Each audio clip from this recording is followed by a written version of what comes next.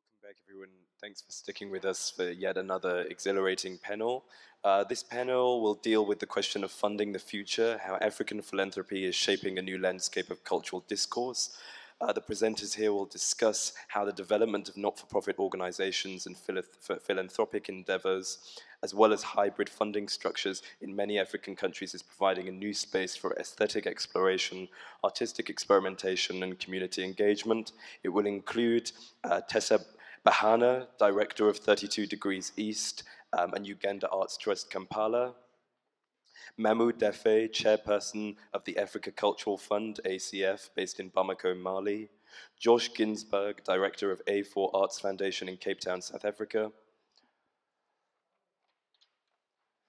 Uh, Bruno Leitão, co-director of Hangar Center for Artistic Research and head curator of FAS in Lisbon, Portugal. Um, uh, and Damian Nixon, uh, ArtTactic of ArtTactic, um, editor of Africa, Art and Philanthropy in 2019. Um, and this uh, panel was produced in collaboration with ArtTactic. If you could give the panelists a warm welcome. Thank you.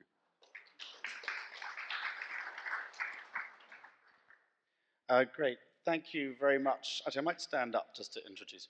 Uh, thank you very much for um, skipping lunch to join us for this discussion. Um, either that or you're skipping Simon Njami's next panel, which is very flattering for us, I think. Um, so over the past several months, uh, I've been um, working on a collaboration with ArtTactic, the leading global market research firm, uh, to produce uh, a major survey and study of non non-profit and private philanthropic initiatives across Africa. Certainly the cultural infrastructure in many African states remains undernourished, uh, which leaves artists with few opportunities for career development or recognition, uh, except for often the international market or international institutions. Uh, but that landscape on the continent is changing. Um, we've discovered uh, a, a very rapid transformation, particularly in the last five to 10 years, uh, driven by individuals and groups and organizations, uh, developing everything from uh, large private museums and foundations to project spaces and exhibition venues, uh, to residency programs uh, and, and, art schools. we will be publishing the first edition of Africa Art and Philanthropy in the autumn which, as Josh pointed out, I should uh, make sure the South Africans in the room uh, realize that autumn is October. Uh, uh so uh, the intention of the report uh, was to, oh, excuse me, um, the intention of the report was to showcase the range of initiatives that are being developed across the continent, to highlight trends and discuss the challenges. Uh, and we hope through publishing this uh, analysis uh, to spark a debate, uh, to expose the gaps that need to be filled in the cultural ecology, uh, and also to inspire emerging philanthrop philanthropists to keep developing new models uh, for, for the development of the cultural scene. please engage with us in this research, which we launch today. Um, uh, and uh, over the next few months, we hope to hear from anyone who is working on a project we've not yet profiled or engaged with. Um, we, we, definitely can only do this research with your help. Um, we have some preliminary findings, and uh, there is a, is a, uh, a, handout on your, uh, uh, on your seats, and you'll also see some of that data rolling through the slideshow as a backdrop while we have our conversation today. Um, but to give you a few kind of highlights, uh, we, we found a, a, very large number of projects, uh, as I say, being developed over the, and launched over the last 10 years across the continent. Uh, particularly driven, which is encouraging by private initiatives, those funded by private individuals or foundations. Um, what was extraordinary actually was that about 50% of those private initiatives even uh, were artist-led. There, uh, and we, we were in a, a, fabulous session yesterday with Ibrahim Mahama, who's uh, a very inspiring project. A lot of artists uh, who have found success um, internationally or, or, or at home uh, are, are investing in their own artistic communities and building infrastructure and building schools and building projects, uh, which is completely going to transform the landscape for the next generation of, of talent. Um, we found that the opportunities at home in the last five to 10 years are increasing. Um, an extraordinary new number of residency programs um, across the continent. I think uh, there, there are about 24 residency programs that we've so far discovered, um, uh, and only six of them were existing in 2007. Um, in, uh, also in exhibition and project spaces, so non-commercial venues for artists to show, work, and experiment and innovate and also the number of festivals. Uh, again, so far at this stage in the research, we found 14 festivals, public art festivals and biennials across the continent that didn't exist 10 years ago. Um, on the other hand, we also discovered um, that there remains a huge reliance on international funding. Uh, the international government agencies particularly have been incredibly supportive um, the Goethe Institute, the Alliance Française, the British Council, Mimeta, etc., um, uh, and, and, also international grant-giving foundations. Um, we found that uh, there was a surprisingly little amount of corporate support for the arts, uh, beyond um, some minimal sponsorship for events. Uh, and we found that there was a little bit of a mismatch in terms of regions. Um, uh, East Africa particularly seemed to be lagging in the number of projects, not, not of course, the quality of projects, uh, but, the, but the number of projects, um, which was, was perhaps a surprise uh, given you know, the economic strength and growth in places like Kenya and Ethiopia. Um, so, to help us unpack some of these issues and uh, uh, and, and, discuss the, the current state of art and philanthropy across the continent, we have four fabulous panelists that have come to us. Well, four. There's a ghost, but uh, Bruno is on the way from the airport, so that's Venice. Um, so, so far, three from different corners of the continent. So, we're really, really grateful that you've all traveled all of this way to discuss with us. Um, so, in no particular order, Mamou Daffé is the chairman of the African Culture Fund, which is a new grant-giving body that has been established. Uh, uh, it was the, it's the brainchild of a group of prominent artists, um, and uh, actually, you're, you're right, I should, I should do this. Uh, it's the brainchild of um, a group of prominent artists uh, and seeks to provide um, African funding for African cultural projects. They just had their first uh, call uh, and have issued their first set of grants, um, and uh, I'm sure Mamou will tell you more about that. Uh, Teesa Bahana is the director of 32 Degrees East, the Ugandan Arts Trust, which is really the, only contemporary art hub um, in a country that has a number of, of fabulous festivals, but but really is the only center for contemporary art in Kampala. Um, and Josh Ginsburg, who is the director of A4 Arts Foundation, um, which is uh, another newish project um, in Cape Town, uh, which is a contemporary art project space and lab, um, and uh, has been funded by the indomitable Wendy Fisher.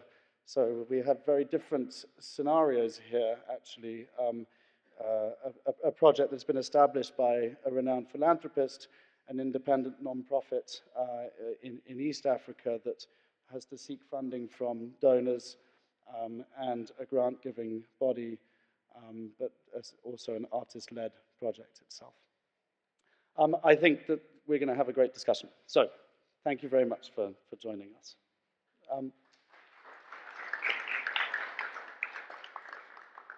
Uh, so, well, we might just start then by um, introducing our, our projects, actually, if that's great. So you can tell the audience in your own words um, the context in which you set up each of your individual projects and, and, uh, and, and what you seek to achieve. Maybe Josh, go first. Thanks, Damian. Good to meet you guys. Hi, everyone. Um, so A4 Arts Foundation is a free-to-public, not-for-profit arts laboratory laboratory, in our case, has sort of two prongs. On the one hand, it's to invite artists, curators, and cultural producers opportunity to test ideas, take chances, be ambitious. Uh, so that's the one sort of component of that experimental sort of stream. The other is to ask what exactly art does do in the, the greater society. What impact does it have? How do we measure it? What are the different languages we can devise around that so we can understand and justify the flow of resources into the ecology to grow it healthily? So those are the two streams of experimentation, artists and the role of art itself. Um, as Damian pointed out, the, the project came together through uh, the, the, like incredible generosity and spirit and energy of Wendy who's here, and my and her relationship over the last seven or eight years. Um, the intention was relatively simple. It was a function of acknowledging the, the lack of public resources or resources for the arts in the public domain, fact that the, um, the sort of ecology in South Africa is bookended pretty radically by the commercial sector on the one hand, that has uh, a great reach and impact, and on the other hand, by the universities, those two limits set up spaces that are pretty intimidating and alienating for those that don't have the language to participate or the money to participate. And as we all know, the arts intentionally is in the public domain where you can catalyze innovation of various formats. So the idea with A4 was to try and understand how we could participate with other organizations, funding bodies, artists, and other to stimulate that ecology and figure out where the balances need be or how to reformat it. Um, and that's, that's our role. Our role is, is again, to encourage various um, experiments, but also to weave together the network in, in the best possible way, which includes principally how to get resources to flow into the ecology both in South, Southern Africa and further afield. Um, so in, in, in, South Africa, actually, the, the ecosystem is relatively developed um, in comparison with some of your neighbors, certainly. Um, so in term, when, you, when you were establishing A4, how did you have to think about um, where you fit into that ecosystem? And uh, obviously, there are a couple of very high-profile um, private collections that have now been open to the public and, and in, in, museums and, and this kind of thing. So, how did you have to think about how you slotted into that? Okay, well, the first part of that is to leverage what exists, right? And one of those factors is a very strong marketplace. And without a critical infrastructure in the public domain, that marketplace has the capacity to run amok. It can, you know, money can determine history, and that's obviously unsettling. But on the other hand, there are people who are spending money buying artworks who are curious, they want to participate, and part of our role, come, come sit.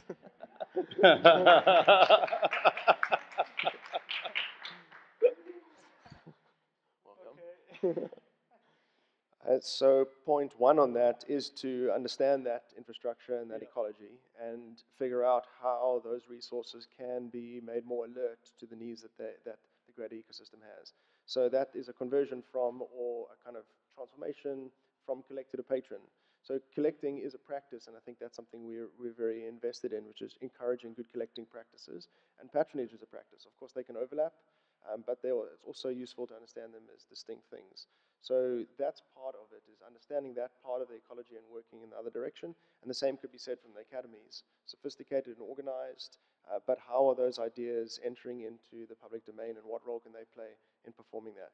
And then you thicken out the middle by, by welcoming people into those spaces. And I suppose that's a coordinate of A4 is, given those limits, there's a huge amount of, like I said, alienation, intimidation, what can we do to allow people into a space where it's not necessary to understand everything you see? It's okay to be uncertain. It's okay to sort of ask big questions and, and so on. And that thickens out, a, ideally, a public space that can then sort of grow together. Terrific. And I, I want to talk later about, about how you, um, you measure impact and, and, and, and that kind of thing, but that's great. Um, I should just introduce Bruno, who, uh, who has literally flown in for this panel and arrived an, an, hour ago. So Bruno is the co-director at, uh, at Hangar in, uh, in, in Lisbon um, and also the, the uh, head curator of um, FAS, which is uh, a new a collection of African art. Um, uh, again, when we get round, you will explain um, in your own words. But, but thank you very much for joining us. Thank you so much. Uh, Teesa. Okay. Um, yeah, so I'm here from 32 Degrees East, Ugandan Arts Trust. Um, we're based in the capital of Uganda in Kampala, and we, as Damian said, are the only contemporary art space dedicated to the creation and exploration of contemporary art in Uganda. Um, so I'd say not just in Kampala, but we're the only center of our kind in Uganda as a whole. Um, and I guess because we operate in a country that doesn't have a Ministry of Culture, um, visual art is under the Ministry of Gender and Social Development. Um, and I think we have like two lines in the, in the policy. And so um, as a center, we sort of have to exist to uh, create a lot of spaces for artists, for curators, for historians, for writers. Um, and if those people don't exist, then it's also about creating the tools for, for them to emerge and, and to connect to each other. So how we do that is through our residency program, where we offer artists studio space, a materials budget, and a per diem um, as well as resources. So we have a, a, resource center that's got a contemporary art library um, and simple thing, things that may seem simple like uh, connection to the internet and a printer and um, Adobe Creative Suite, uh, the kinds of things that help artists to you know, apply for residencies and other opportunities internationally. Um, and then we also have um, resources in, the in, in, um, in staff as well. So we have program managers who are able to talk to artists about, you know, their portfolio or how do you work on a CV. Um, and also, I think what's really important about our center is that we're a space for creatives to connect to each other.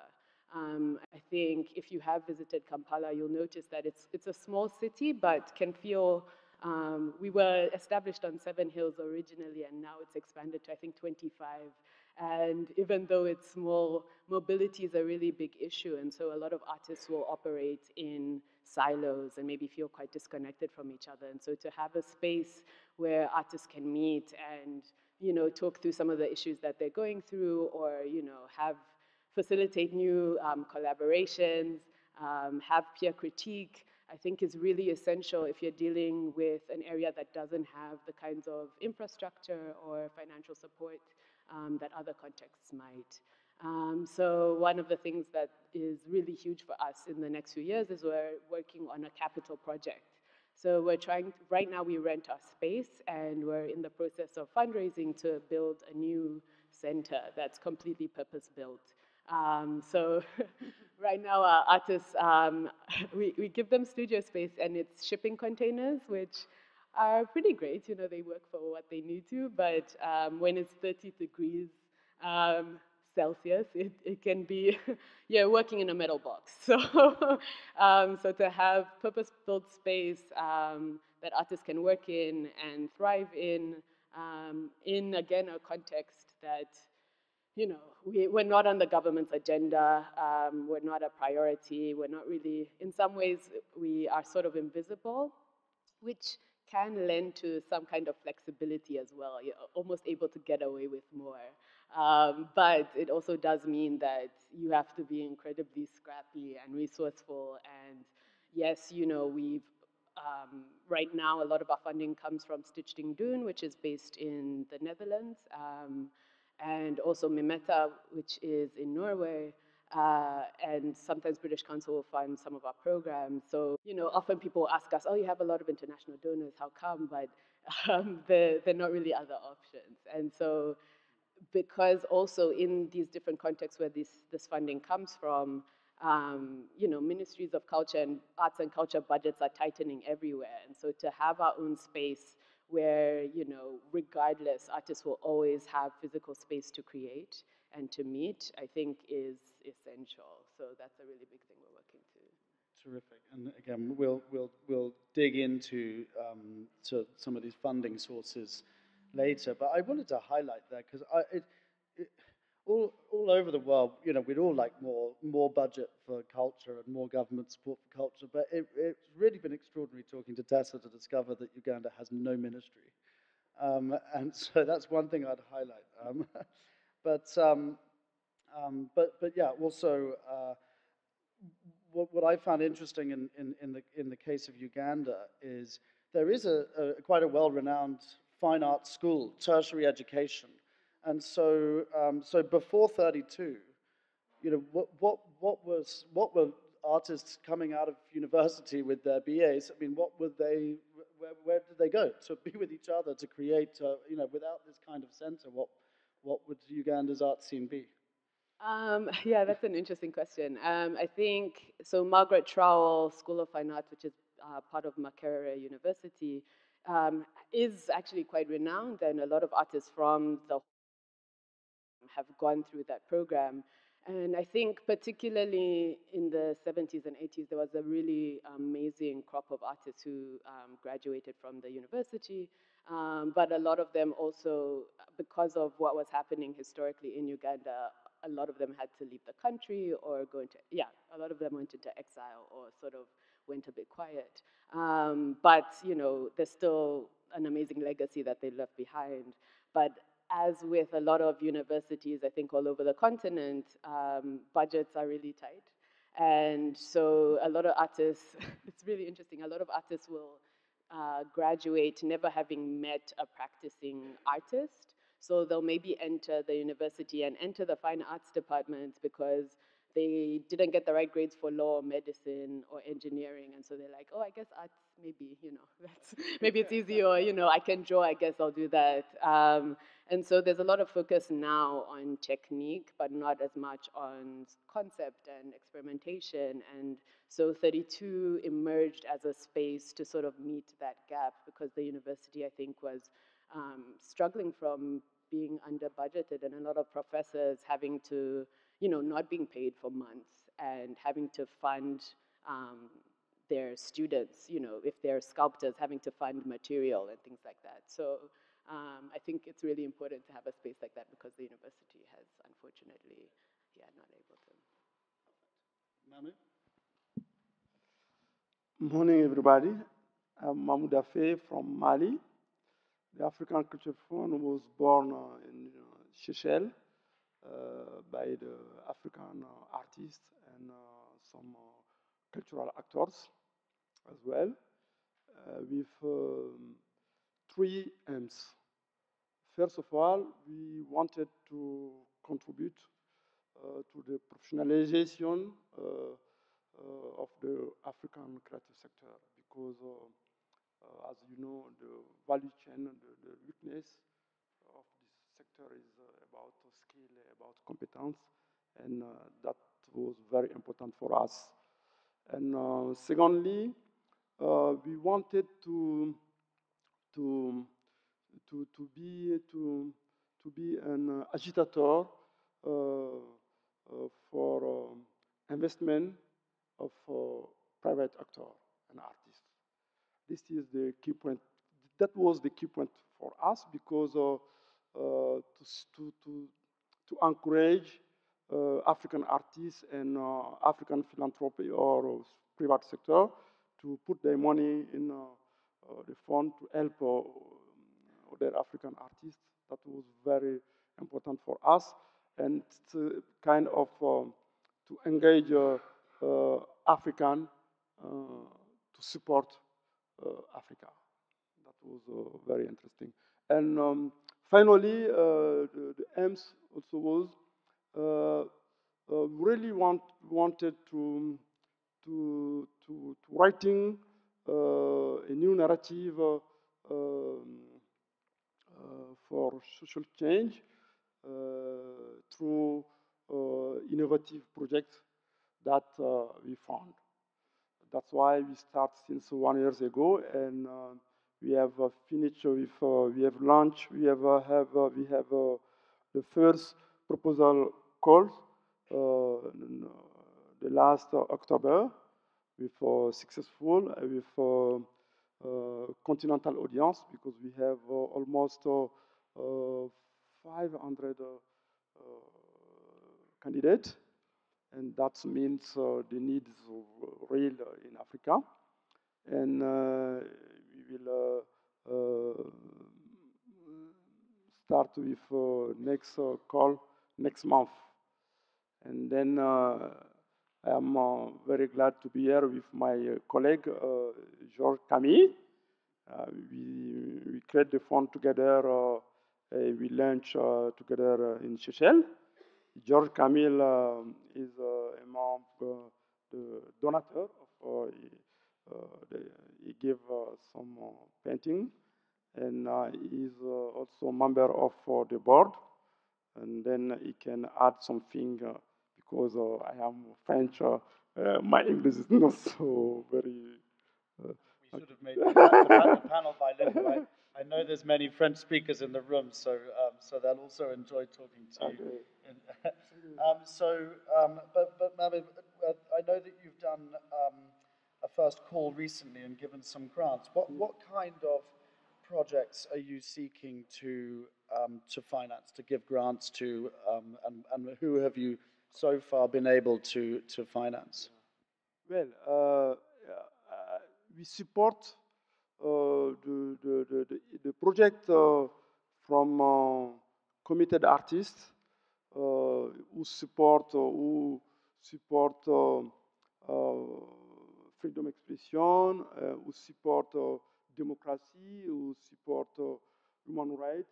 Uh, I think uh, and the innovative project because uh, we have some uh, um, uh, key, I can say, point. Uh, we have uh, set up uh, the jury, international jury from all Africa.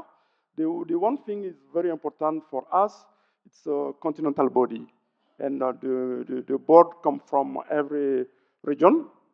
And we are nine now, the first board. And also the jury from uh, all Africa.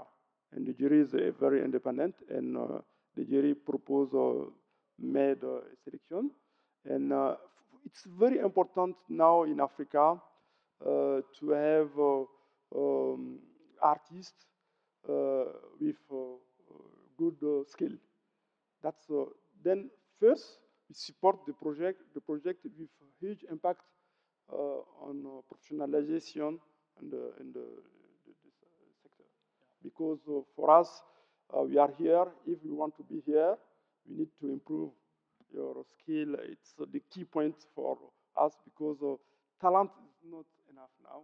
Uh, everybody know there is a lot of creativity in Africa, but uh, it's not enough.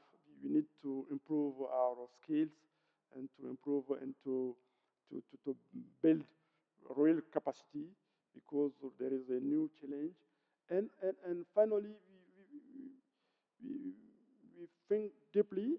Uh, it's important to engage uh, African artists and uh, uh, private actors because that can give us some sustainability. Because you know we don't want this project only receive the money from the north, and when, the money is finished, ah, we need to set up the and we need to, to make very complete. So that's that's why this project is very unique. As well, we just start start. It's very it's not very easy because it is about uh, uh, art. It's about Africa. It's about money. But uh, we have uh, confidence uh, to step by step, and uh, we can yeah. Brilliant. And again, again, we'll, we'll talk about um, how you find patrons a, a little later in the discussion. Uh, Bruno, would you like to tell us um, a bit about Hangar uh, and, and also the, the, the art collection? Okay. Um, well, uh, thank you for waiting. I have a, I have a feeling I took the scenic route to get here. So I'm Bruno Leitão, and I'm I'm from Lisbon, and I'm one of the directors of uh, Hangar Center for Artistic Research. And um, Hangar is a non-profit. Uh, speaking about funds to begin with, we get our funding uh, mainly from public contests with the, the local, with the National Arts Council in, in Portugal. We do we we do exhibitions, we do residencies, we do um, we have uh, artist studios because the residents are mainly foreign, so we felt that for the, the building to be alive, we have this uh, artist studios inside the building, so there's this kind of communication, and we have a big uh, uh, we have a re, um, educational service, but also we have uh, pr- um, a research department. And for that, we have the agreements with two research centers, one in Lisbon with the University of Lisbon. It's called the Center for Comparative Studies. They are experts in African culture in Portugal. And with the train, uh, Michael Asbury and Paul Goodwin that spoke here uh, yesterday uh, with the train in, in London. Um, and this is because when we started Hangar, we wanted to we wanted to address the history of Lisbon. And of course, if you want to address the history of Lisbon and if you want to think what can a cultural institution do in a certain place, uh, you have to think about the history of uh, history of uh, Lisbon. Um, also, uh, it's a very unique capital in Europe, and, and um, the 16th uh, century had um, over 10% of African population. So it's very special in, in, the, uh, in many ways. And um, we felt that none of the, the cultural art centers reflected that, even though there were attempts. Um, so this is a little bit uh, Hangar. And then um, last year we started this, um, we didn't start the collection, we, we formed uh, its uh, new way of being. It's called FAS, uh, and it's an uh, um, a collection of art dedicated to African arts with a specific focus in the first years to Angolan art. Um, and that brings me to this, um, this book that we have here. Actually, this, is, uh, this was done in Hangar. Um, we wanted to do something with uh, we wanted to address the vitality of Angolan art uh, production. Uh, it's a very uh, vital art scene, especially uh, its diaspora. In Lisbon, there's a lot of connections, a lot of friends from Angola have their studios in Lisbon, or they have a foothold in Lisbon somehow.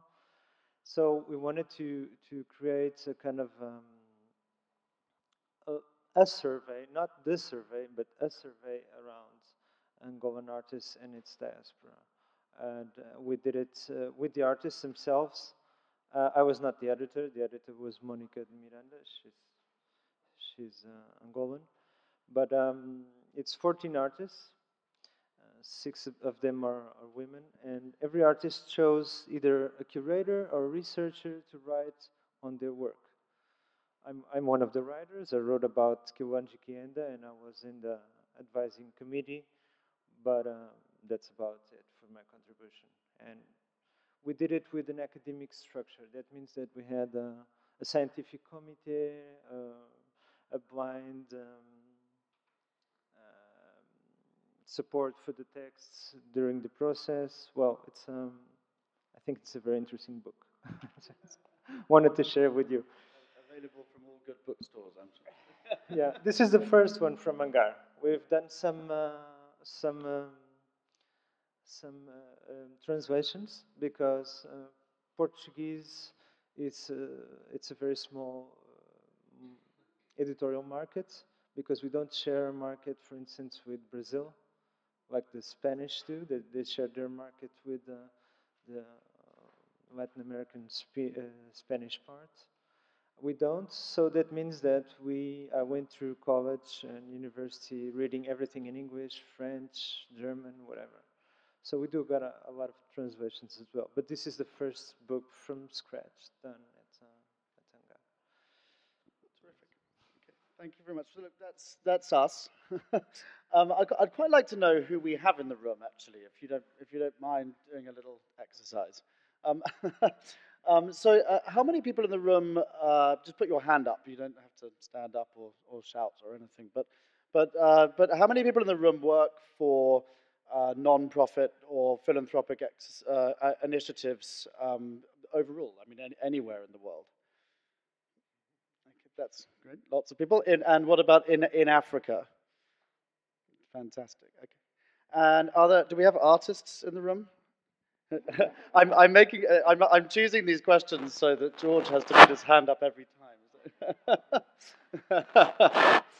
um, so uh, that's great. And any curators in the room? Fantastic. Uh, any philanthropists in the room? Some shy philanthropists as well. uh, so t- terrific. Okay, so I think we got we're going to have a great discussion. So we're going to get stuck into the issues um, now. Some of the issues that we've brought up, and uh, and then we'll have a Q and A at the end. But um, I mean, if you have a really burning desire to to jump in, then um, then maybe that is a good opportunity to shout. Um, so so let us know, and we'll pass you a, a microphone. Um, terrific. So look, I think I think one of the first things you know that I'd like to get stuck into is this question of international funding, because certainly in a session we had yesterday, there was a sense I felt in the room that international funding versus um, versus you know local funding within African states or from Africans to African projects. There was, there was a, um, a preference, obviously, for the latter, even though, you know, at the moment we're very reliant on the support of, of, of, our, of our friends abroad.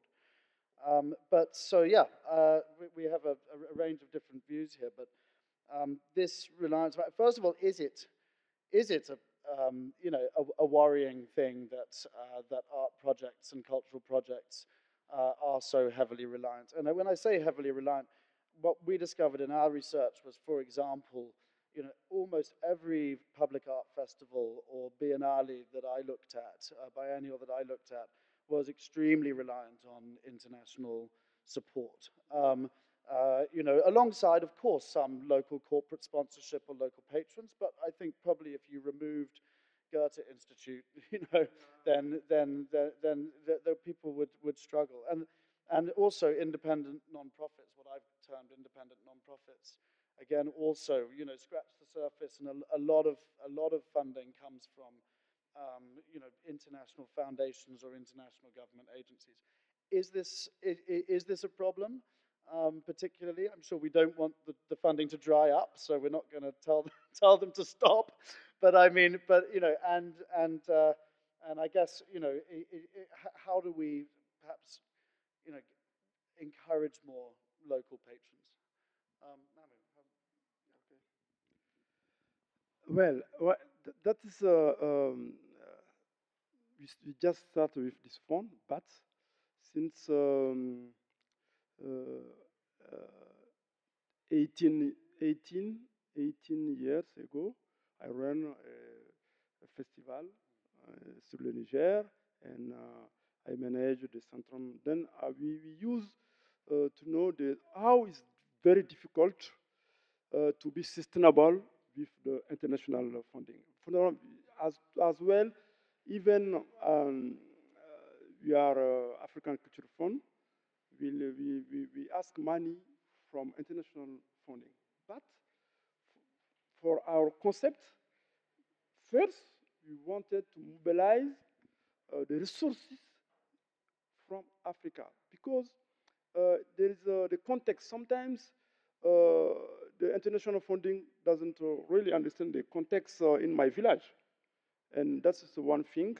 And if you are very, you have a good capacity, you can promote yourself, maybe you have lucky to meet some international funding. But uh, if we want to put uh, to, to, to help this uh, African creative sector sustainability, I think one thing important to add in international um, uh, funding to add to mobilize because now you know uh, the uh, private sector is very dynamic in Africa, mm. and and and we we have we was surprised to see because we start with uh, Abdoulaye Konate who give us one painting from uh, uh 100 uh, 150 thousand uh, euro. You know, we have the, the, the and the, the artists uh, who give the works come from all Africa and sometimes beyond Africa. Mm. And that's why uh, they have a commitment. And if we have a good institution with good capacity, it's possible to, to, to mobilize. For us, funding the future is the key, must be uh, private actors and private sector in Africa.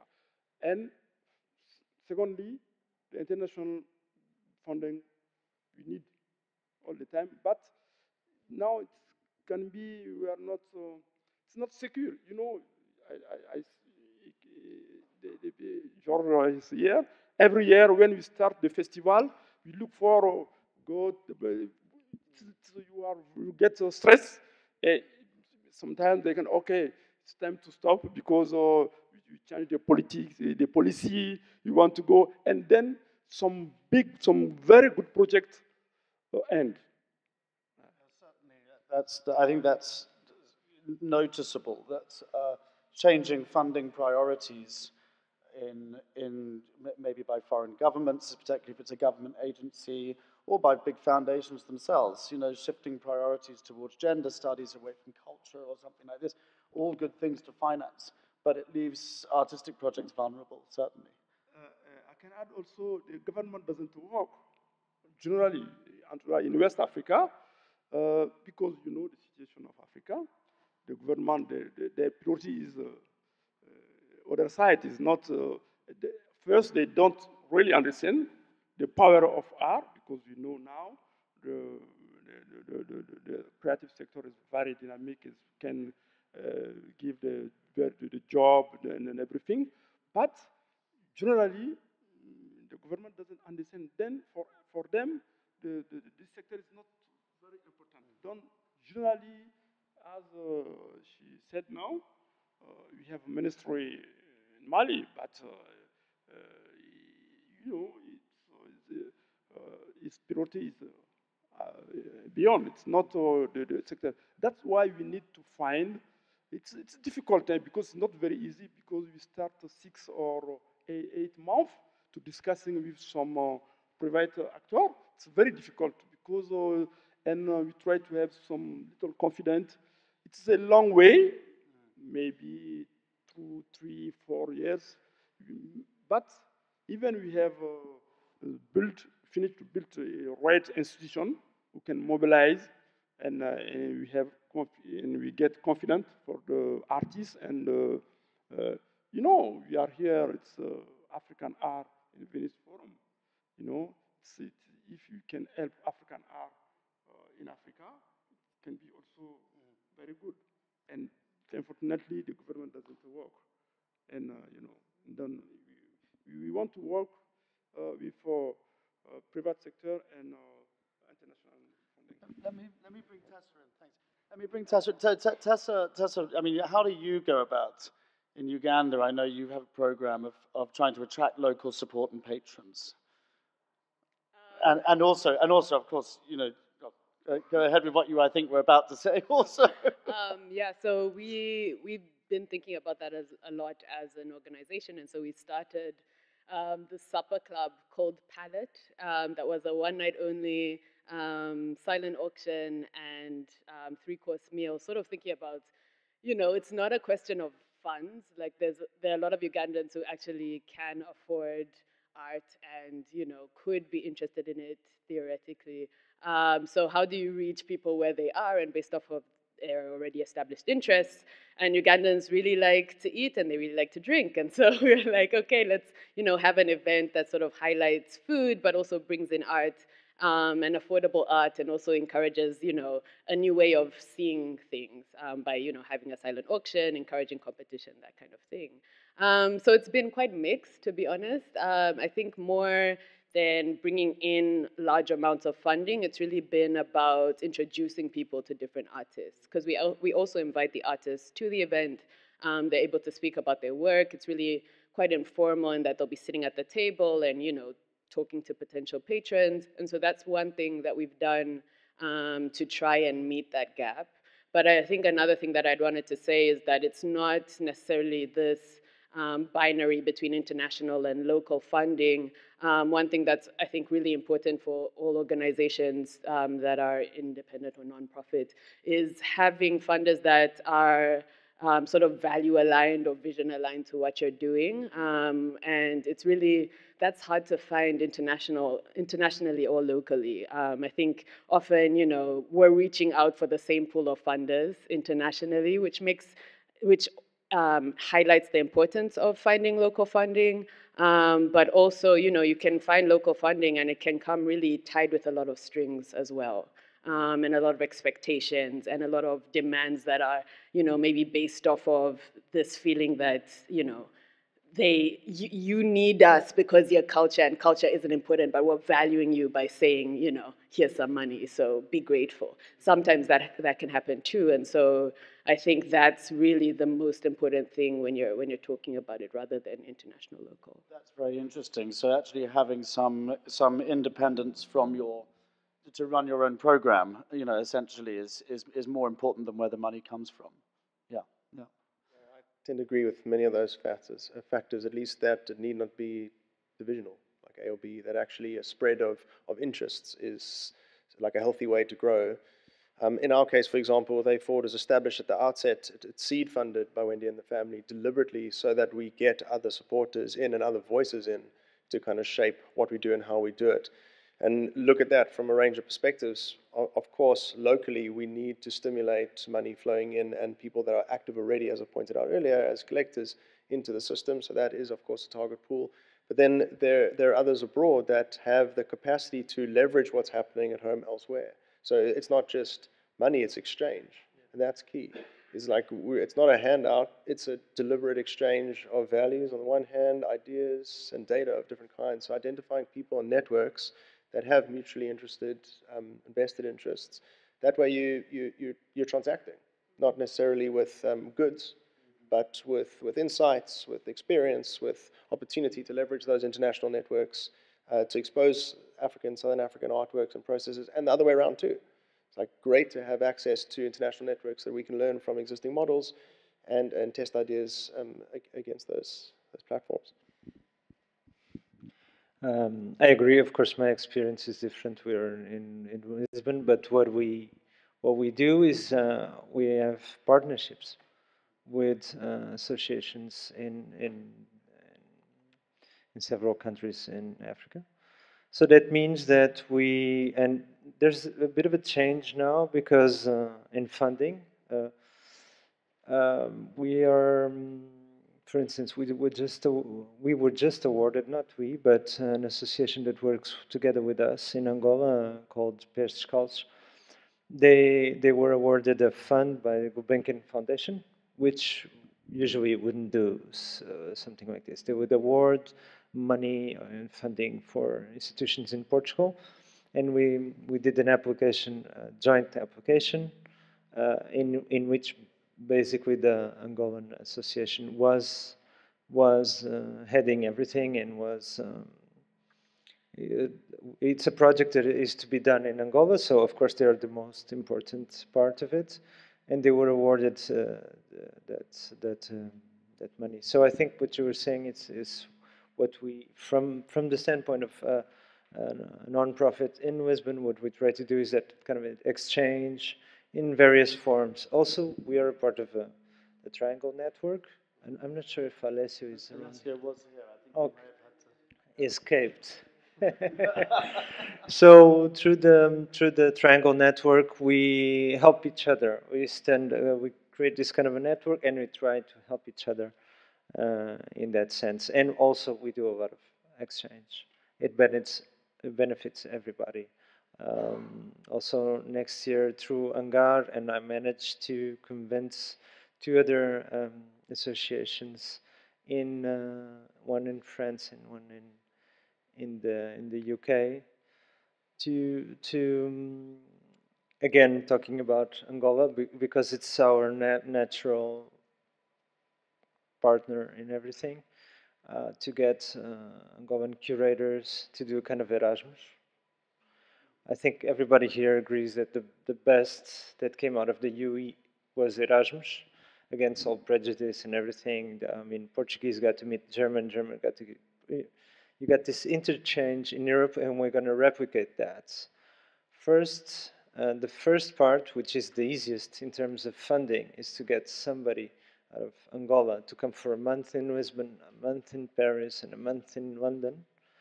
But then the second part is with partners in other countries in Africa to create a kind of uh, um, kind of exchange of curators. Because if you want a, an art scene to thrive, that's one of the ways. And then you uh, and then you ask them and you get funding for exhibitions in Lisbon or in other places with these young curators. Sometimes they are even not trained as curators. Uh, not everybody has the money to go to Goldsmiths or something like that, but they are artists working as curators, and we're very interested in, in doing that. So, yeah note, it's, it's, sort of outside of the context, but I think interesting was discussion last night around uh, a project in London some years ago called How to Work Together, which was the showroom Chisenhale and Studio Voltaire, who recognized that they were similarly sized not-for-profits. Um, they ran similar but not necessarily overlapping programs, and they were looking at opportunities to kind of leverage what each other was doing. Perhaps you have a resident, we can do a show, whatever the case is. And that, that was the kind of gene of how to work together, but found after some time that because of how hyperlocal it was in a way, that they, they were actually seeking similar funding streams, and it inhibited their capacity to share ideas in that framework. So in fact, there, there could very well be limits to organizations seeking within hyperlocal pools. And in fact, extending those networks allows a degree of agency, not only from the organization point of view, but within partnerships. So to be, potentially be able to share better. Yeah, no, I can. I find that I think that's really interesting. Actually, it's a very nuanced discussion on on this subject. Um, actually, so European funding not a bad thing. also, there's a pragmatism that I think yeah. also should be yeah. counted in. The yeah. currency exchange is significant, you know, and what we can do with that money is extraordinary, and it's great.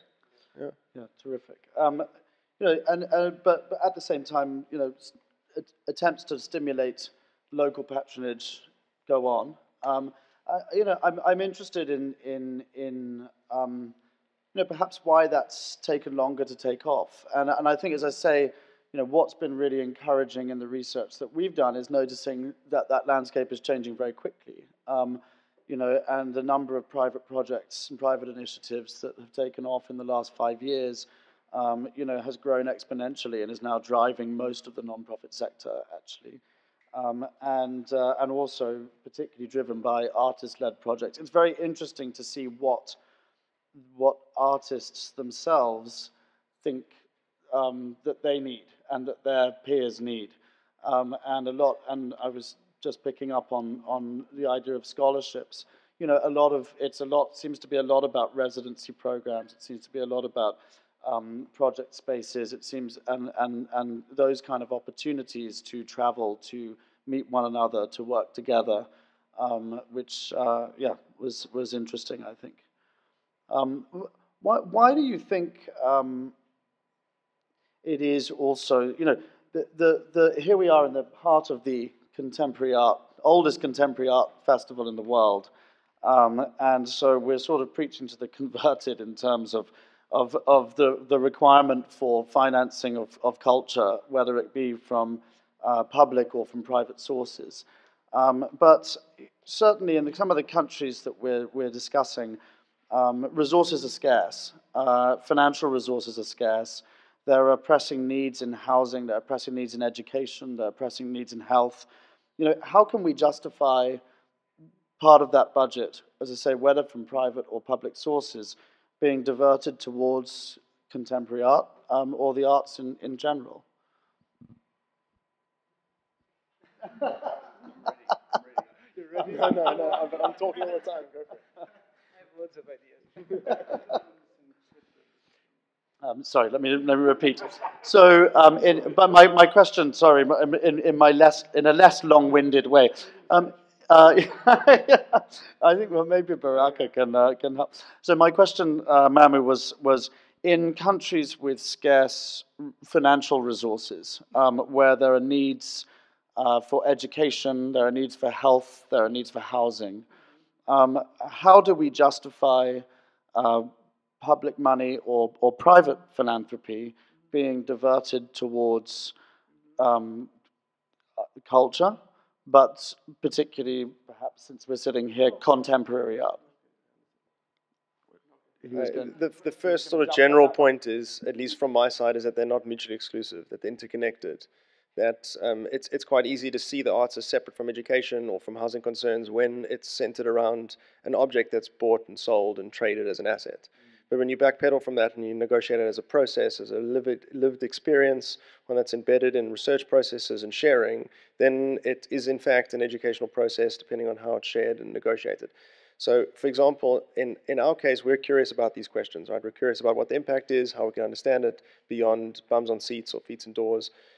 Um, and one of the ways we look at doing that is extracting the process of art and injecting it into um, other disciplinary encounters. In, in our case, there are two ongoing experiments. Well, one ongoing in sort of a range of different ways, and one new. One is with urban planners, others with medical students.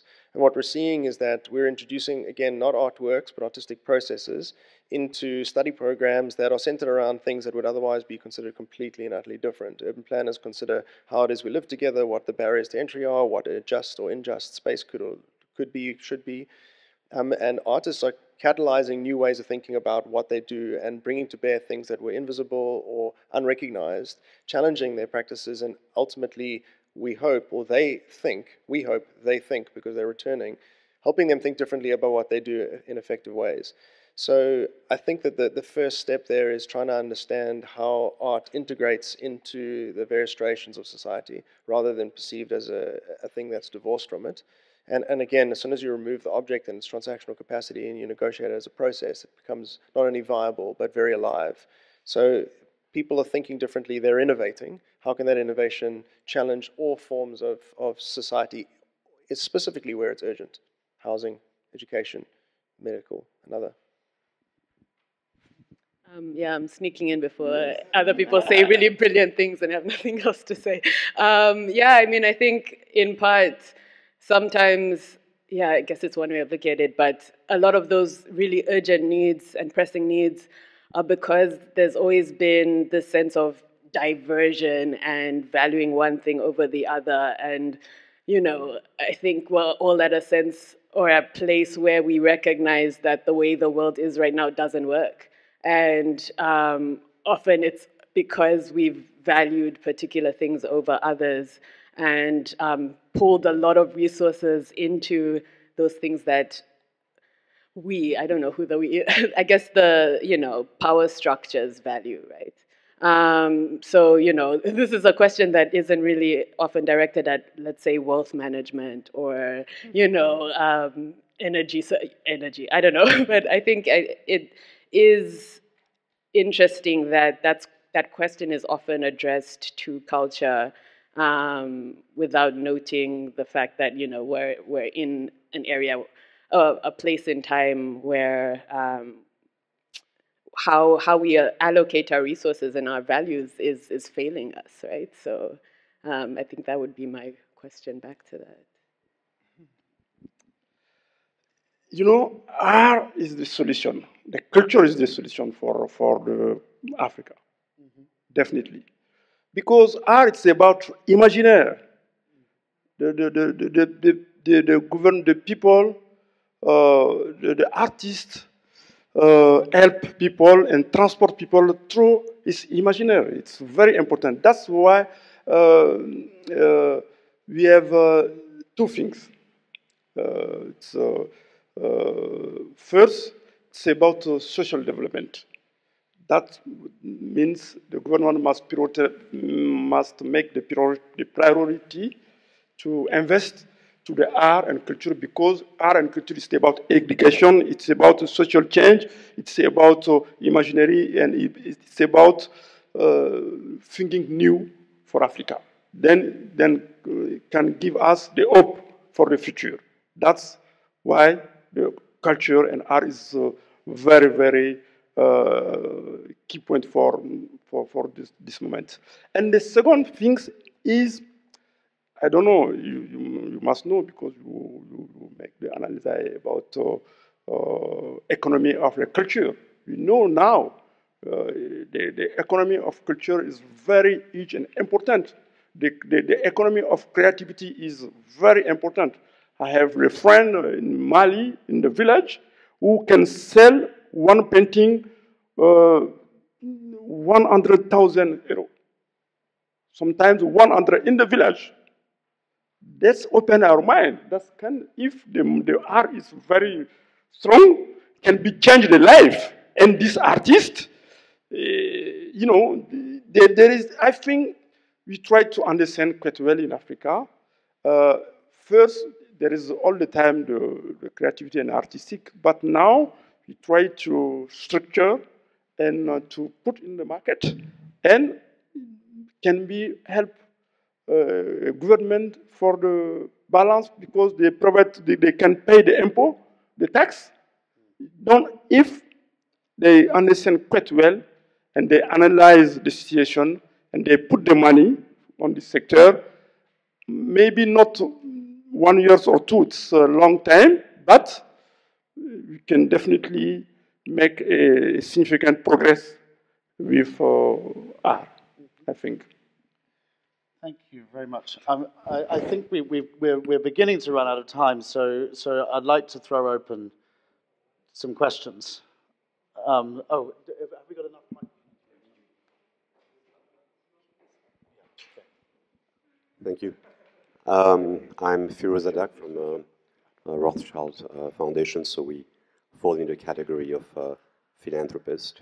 So I just want to make quickly three points. Uh, thank you. It was very inspiring and thought-provoking what you each said. But first of all, I'm going to challenge, if I may say, Damian, the way you framed um, the, uh, this panel, because you, on one hand, you talk about African philanthropy, but on the other, if I look at the synopsis, you talk about nonprofits, you talk about hybrid, and that's, I think, um, uh, um, something that one has a danger that you have to be watchful of, especially when you do research because these are very different animals. Uh, by definition, hybrid structures can have a for-profit dimension. Non-profits are depending on people like us, partly, and philanthropists, you know, give money. The second point is that um, uh, what I hear here is that you know, philanthropy is first and foremost about money, but not only. Uh, so it's important also that all of you keep in mind the fact that when you deal with people like us, we're not in the business of just writing checks. And uh, Wendy, whom I know well, has been actively engaging not only providing financial support, but also thoughts. And those thoughts come from uh, linking to my second point, uh, which you all seem to lack, is how philanthropists like us from the West are actively seeking local agents. And when we talk about local agents, we don't necessarily talk about NGOs, we talk about local philanthropists. So our experience having dealt with philanthropists from Nigeria, Morocco, Kenya, South Africa, the list goes on, is that these people, I agree with you, in Uganda or also have money. It's not anymore Africa that is begging for money. Africa has money, has accumulated incredible wealth over the last 20 years. Uh, however, the, the question is valid. Uh, when they deal with so many needs on the ground, health, education, gender, environment, and so on, culture with a big C tends to fall on the side. And they tell us, you know, you guys are from the West, you've got the luxury of having a, a welfare state and so on. We don't. And so our engagement needs to go to our people and caring for the immediate need. Uh, now, my response to that is to say, and I'm going to Josh, is to say yes, but first of all, you know, in the history of Europe or the US, a country which doesn't have culture lacks its soul. And I agree with you, culture is essential. But more and more people like yourselves have to think, and I think that's Josh, what Josh has been trying to do in South Africa, is trying to really provide that link between art for the sake of art and social impact. And that requires thinking, and this is how philanthropists come into play, because they can work with you on saying, listen, yes, some people are just going to be patrons, but more and more philanthropy is becoming demanding. It's becoming about impact. And it's not about putting our name somewhere and say, yes, we are patrons. It's really about, okay, so what type of impact can we really demonstrate? So, uh, and, and, unfortunately, I find that in the world of arts that we are active in, this dimension, this education, is still missing. And But I, I guarantee that your local philanthropies are also now um, looking at that. Thank you. Uh, I, I, appreciate the, those comments, actually. And I think I think where that discussion was probably about to lead to an, to an extent was what, what you're talking about. Return on, what I consider kind of return on philanthropy is, um, is, is an essential component. And we've discussed that before in terms of, again, in terms of impact, in terms of, okay, if we're going to have a project. Um, yeah. You just raised something for us that I just want to point to that I'm very curious about, and interested in, which is the definition of practitioner. Because there, there tends to be a, a framework, as we pointed out, where there's like the receiver and the giver. And if we define practitioner as artist, curator, educator, collector, patron, then we're all in it together trying to figure out what resources we respectively have and how to optimize those resources. Sometimes it comes in the form of money, sometimes it comes in the form of network, sometimes it comes in the form of experience, insight, and otherwise. And that's that like opportunity for exchange, which is meeting legitimately where two parties, one organization, some potential collaborator can go, right, this is what we need, this is what you need, let's try identify those things and let's do that together. So the prospect of, of collecting as practice, pointed to earlier, and also philanthropy as practice, I think is really curious and deserves more attention because therein one gets to understand what motivates an individual to, to participate and what they can offer. Because in some cases it could be, when we do this at home, we say, well, do you have property? If so, that would be a great space for an artist. Are you a financial expert? Artists have irregular flows of income and they have no idea how to manage it. Um, and the list goes on. So I think that there is a huge opportunity to look at philanthropy as practice, as practitioner, equatable all the way down the chain to artist. And then potentially there's this mutual exchange that is like potentially sustainable or more sustainable.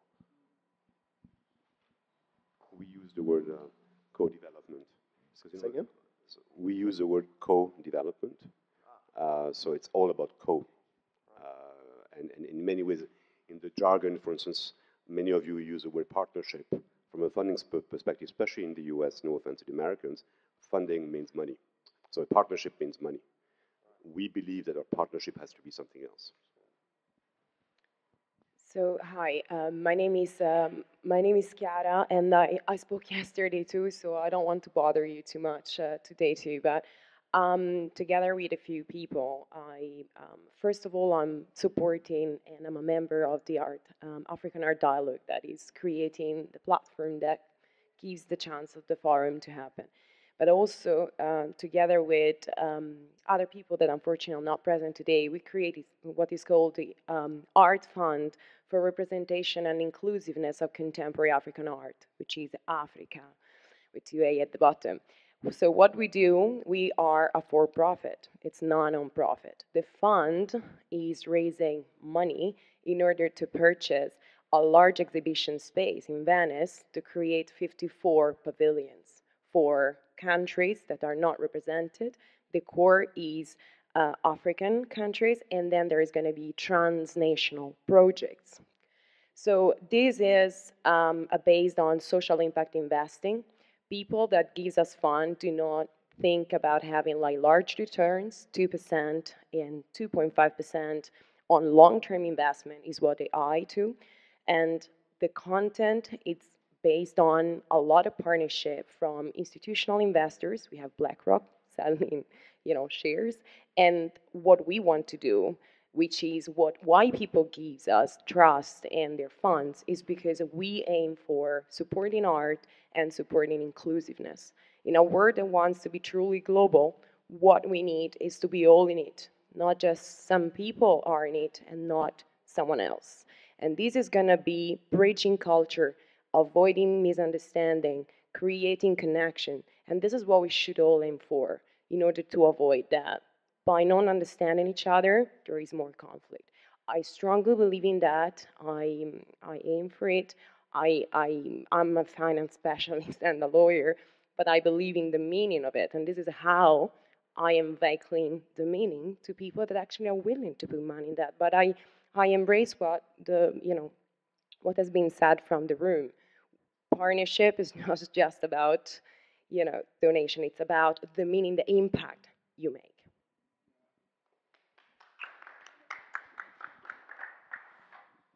Uh, Rick, any more questions, statements, comments? We're done? okay. So it says we, we're out of time, but thank you very much. That's a conversation that, well, I'm going to be having for the next uh, six months, and I hope to engage with as many of you as possible during that process. Um, terrific. Thank you very much to our panelists. That was really very nice to be here. Thank you very much.